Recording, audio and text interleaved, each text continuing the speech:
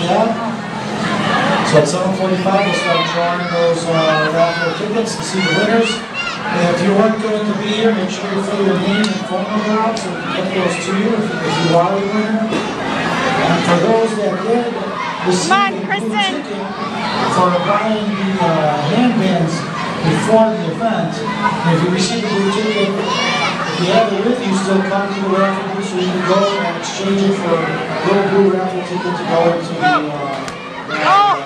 So, in case you have that on you, come out to the raffle booth and exchange for a smaller raffle ticket. So you have a big blue raffle ticket, they'll come and exchange it for the uh, smaller raffle ticket to be put into the uh, pick out raffle prize.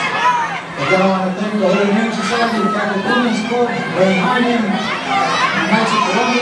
Scouts, Cub Scouts, Girl Scouts, youth ministry, and all the high school volunteers, and the school teachers, and everyone else for helping with the event, and hope everybody's having fun. Enjoy.